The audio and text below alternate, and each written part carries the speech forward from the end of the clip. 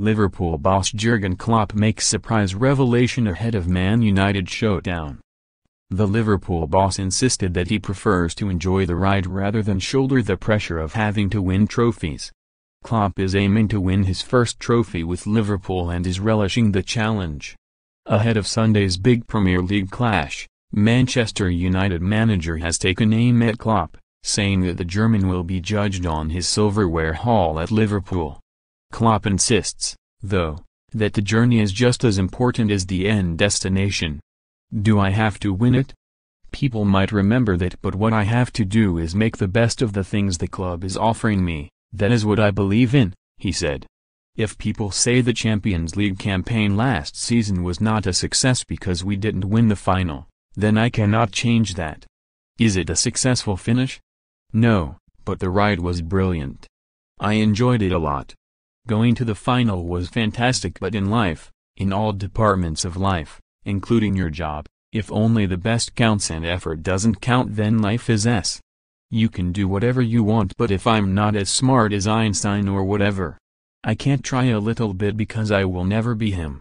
Read more, SKY Sports Pundit makes United accusation I love the challenge.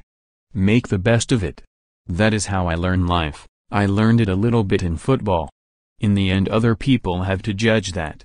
The German is aware of the challenge he faces though, and that the pressure is well and truly on to deliver.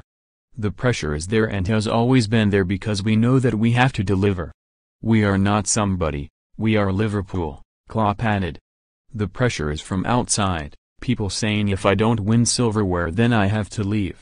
In the moment you find someone who can do the job better you have to take him, that is how it is. As long as there is not, someone better, you have to trust the guy in the chair 100%. That is it. It doesn't work the other way around. We feel we are really the right combination 100%, with the club, with all the people.